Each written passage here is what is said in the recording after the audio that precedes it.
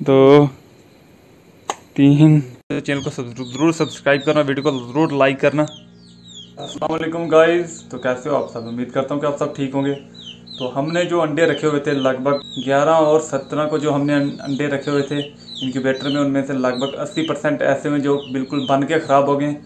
बाकी बत्तख के चार बच्चे मार गए थे अंडों में ही। निकले ही नहीं वो उनके निकलने का टाइम था जिनमें से एक निकला हुआ था। हम ऐसे गए श्रीनगर के।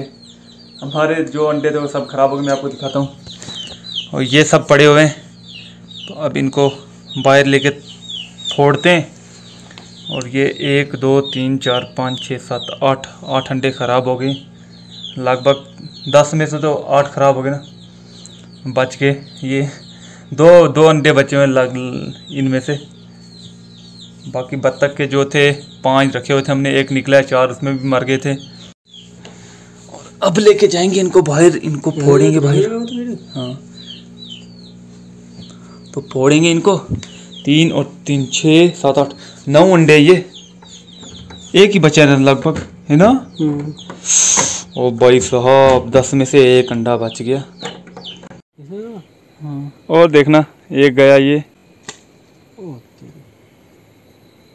दो तीन चार पाँच, छ, ये तीन भी लो। सात, आठ, नौ। फिनिश। इस बार अब मुझे लगता है हम तकरीबन दो महीने तक और कोई अंडा नहीं रखें